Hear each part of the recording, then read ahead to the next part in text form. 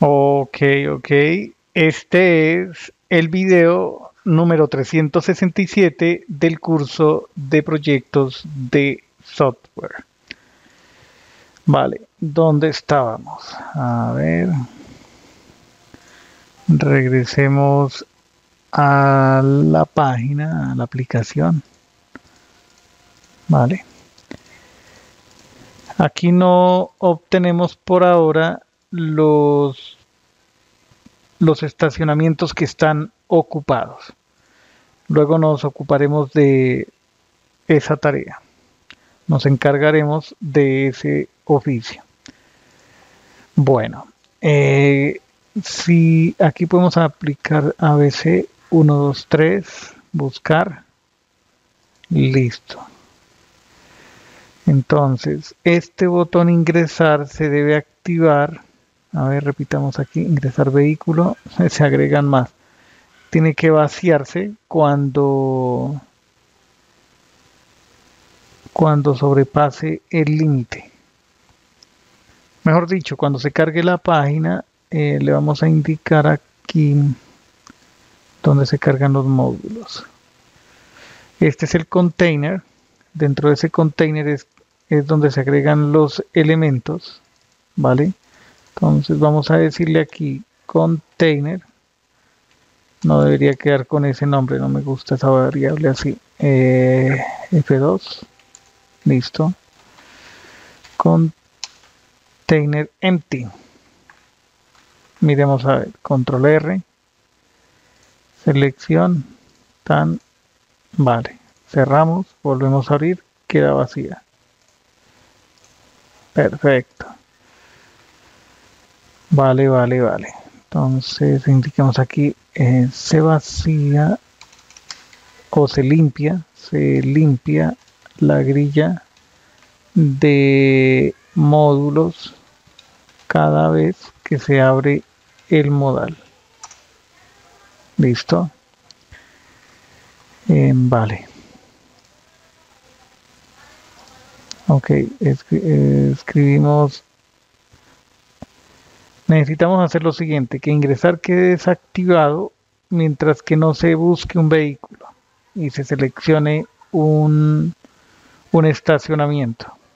¿Vale? Eh, realicemos esa tarea.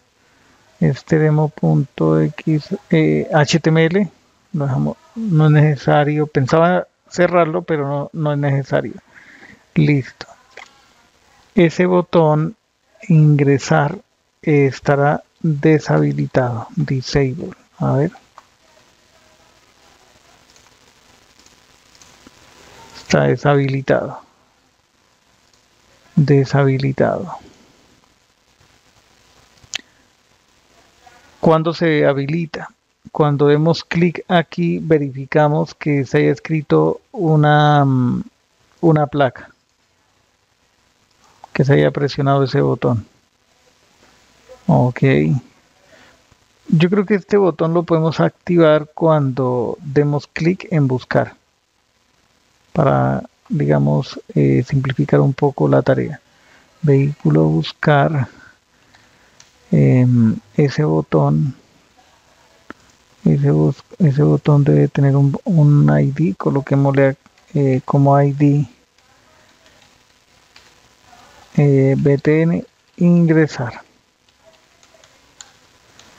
un BTN ah ok sí.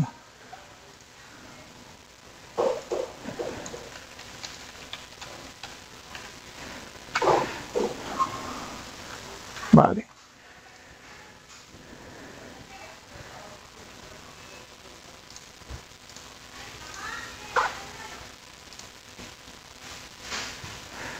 Escribamos aquí ABC123, ahí ya se activa.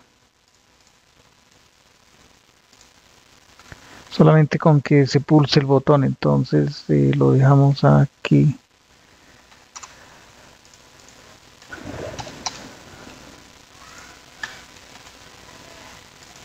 Escribamos como commit, el botón de ingresar se activa cuando cuando se verifica la disponibilidad o no de la cuando se verifica la placa de un vehículo. Podemos dejar, dejarla de esta manera, dejar de esta manera el mensaje. Perfecto. Entonces, aquí leemos el valor. Em, listo. Escribamos aquí el campo. No puede estar vacío.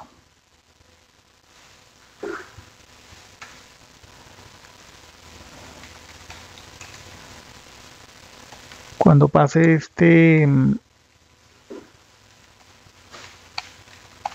cuando pase esta prueba entonces habilitamos el botón de lo contrario se desactiva el, el indicador de carga y se retorna de esta función de esta función anónima es decir no se ejecuta el resto del código por ejemplo seleccionemos la sede tan por ejemplo aquí no se activa. Pero si escribimos una placa, ahí ya se activa el botón. Este botón de ingresar em, hará lo siguiente. Si tenemos marcado un, uno de estos elementos con este color, es decir, con la clase, con la clase... Em,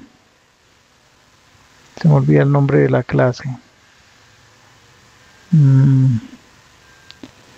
Está acá arriba. Parking Spot Occupied. Escribamos el código para ese botón. Antes un commit.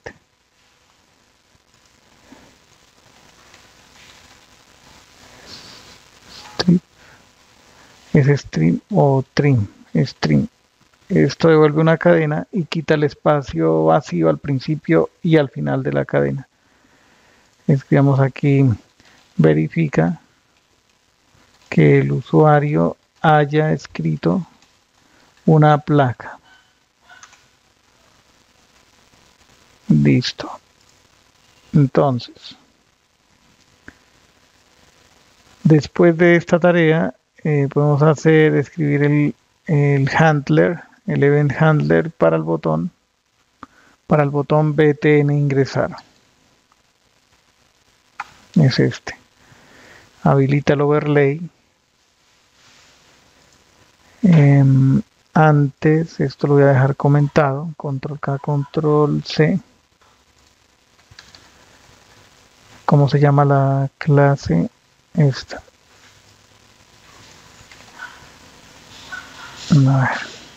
Verifica si hay un elemento, si hay al menos un elemento con la clase eh, activa. Entonces, el query selector básicamente le damos aquí, podríamos escribir como opción em, módulo seleccionado. Si no hay nada seleccionado, eh, podríamos mostrar aquí un mensaje, em, no con un alert, sino cuál es la librería que estamos utilizando, la de Suite Alert. A ver, metámonos aquí a medio pago.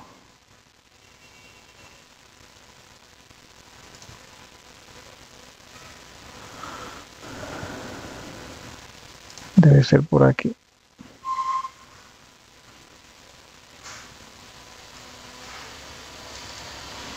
Mm, un mensaje sencillo como este. Sweet Alert Fire. Volvemos aquí.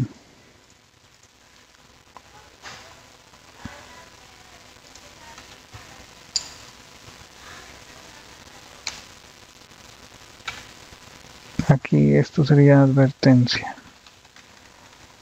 Warning. Debe seleccionar un módulo de parqueo. Y termina la ejecución ahí. Valida que se haya seleccionado un módulo de parqueo. Listo. Dejaré hasta este punto y continuaremos en el siguiente video. Adiós.